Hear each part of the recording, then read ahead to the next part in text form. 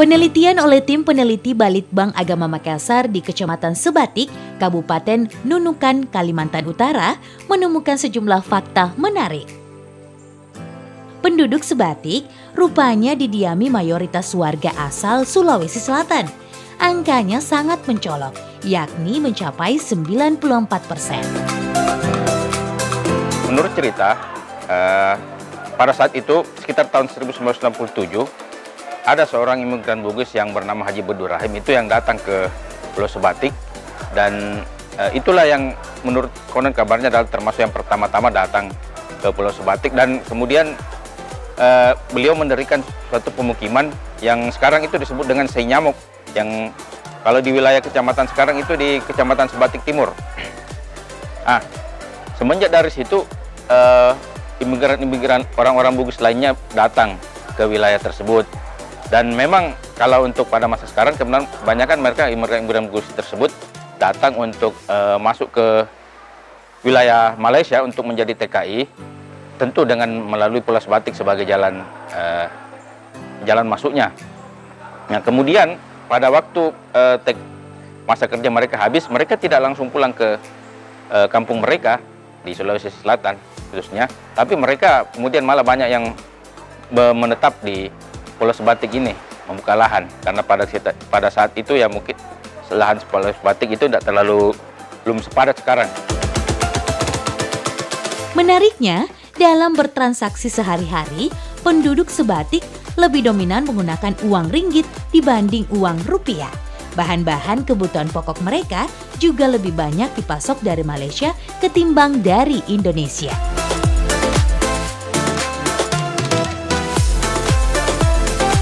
Garuda di dadaku, ringgit di dompetku. Ma Indonesia jiwa ragaku, Malaysia di perutku. Ya, ini semacam ada gium di sana bahwa uh, secara ekonomi ya sangat kebergantungan pada Malaysia oriented dan ini kalau saya melihat lebih pada pertimbangan rasional pragmatis sehingga tidak bisa kita fonis karena hal tersebut kita fonis misalnya nasionalismenya persoalan atau nasionalismenya bermasalah karena ini tidak lebih daripada sekedar pilihan rasional pragmatis. Nah, yang kedua juga banyak terjadi problem misalnya problem administrasi karena wilayah Sebatik Tengah itu menjadi wilayah arus perlintasan orang, khususnya mau menjadi TKI di Malaysia, sehingga eh, problem administrasi menjadi persoalan. Mereka kawin di sana, sehingga anak-anaknya tidak memiliki dokumen kewarganegaraan yang jelas. Ketika sekolah di Indonesia, kebanyakan sekolah di wilayah Sebatik Tengah, ini juga menjadi persoalan. Tidak punya kelahiran, tidak punya dok. Begitu juga ketika pelayanan administrasi pernikahan, juga terjadi persoalan karena uh, tidak lengkapnya dokumen-dokumen uh, identitas. Sebagai penduduk mayoritas etnik Bugis di Sebatik memiliki peranan penting dalam dinamika kehidupan sosial, kemasyarakatan, dan keagamaan. Mereka ada yang bertani, membuka lahan sawit, pedagang, hingga membuka sekolah-sekolah madrasah dan pesantren.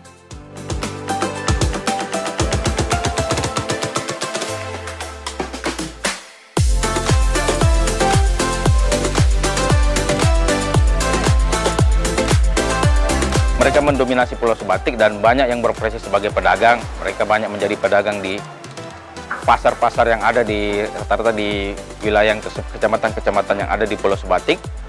Kemudian ada juga yang menjadi petani. Petani, uh, kebetulan ada lahan yang banyak dibuka sekarang itu adalah kelapa sawit.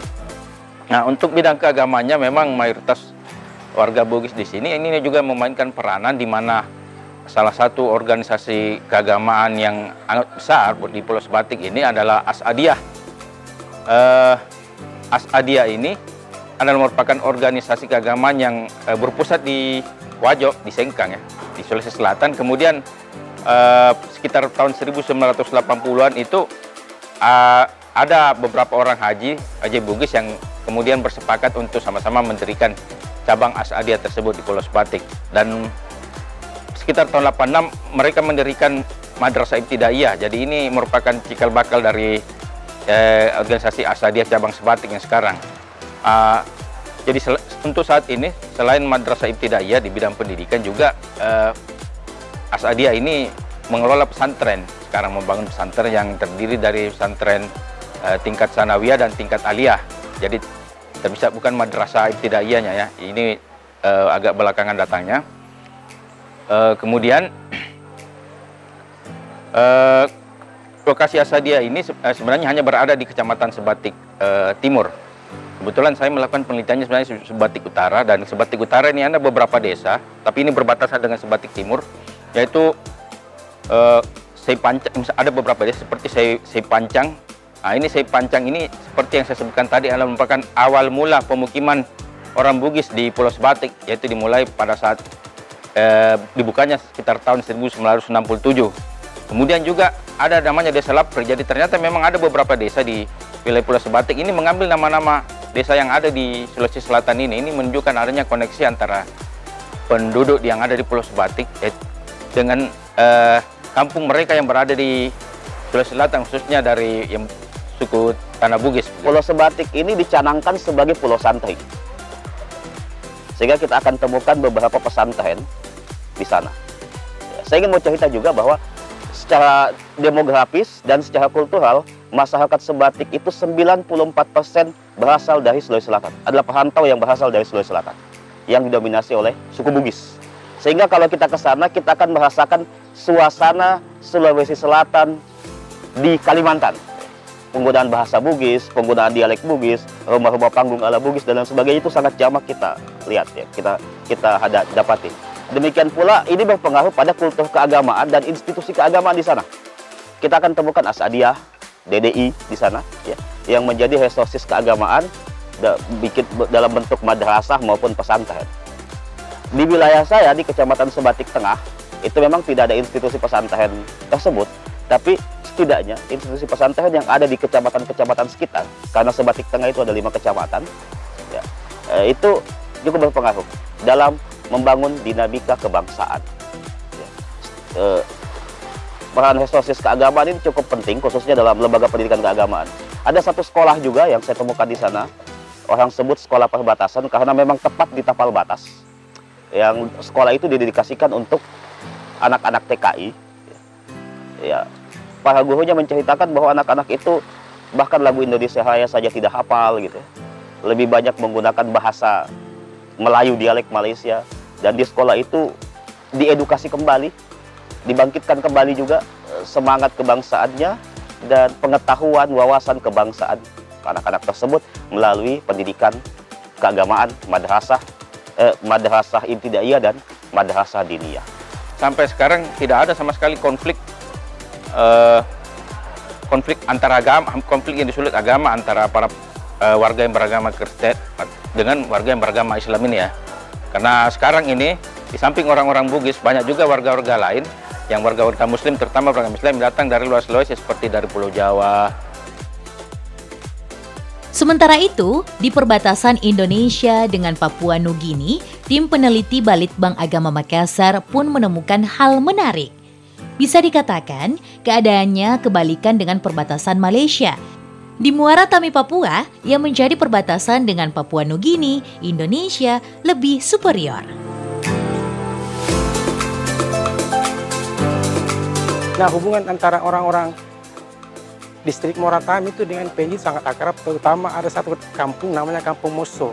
Kampung Moso ini terletak di perbatasan PNG atau Papua Nugini, jadi orang di sana bisa keluar masuk tapi dengan catatan mempunyai kartu lintas batas. Untuk orang uh, orang Indonesia itu mengantuk dikenal dengan kartu merah yang dibuat oleh pemerintah Indonesia, pemerintah Indonesia atau distrik Moratami.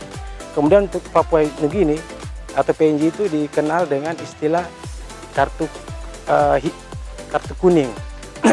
nah, uh, kalau dari kalau kita melihat dari dari, pencitraan sebenarnya itu gerb nah, gerbang di di di di kampung di kampung Moso itu lebih lebih lebih megah ketimbang di Papua Nugini.